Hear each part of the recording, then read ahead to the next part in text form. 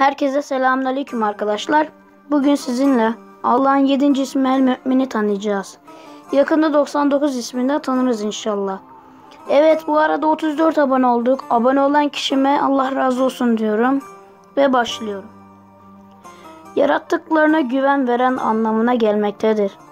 Kur'an'da Allah tarafından belirlenmiş olan bu sıfat Allah'a güvenerek inanan veya kendisine güvenilen anlamına gelmektedir. İnancın Allah ile kul arasındaki güçlü güven bağının adıdır.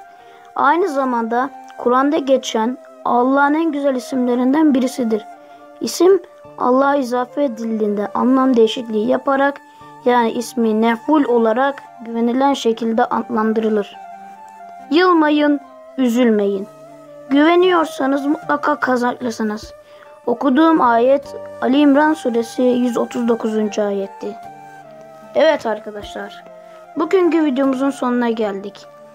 Abone olmak istiyorsanız abone ol butonuna basabilirsiniz. Beğendiyseniz like atmayı unutmayın. Bir de ilk önce siz izlemek için bildirim açmayı unutmayın. Hoşçakalın. Allah'a emanet olun.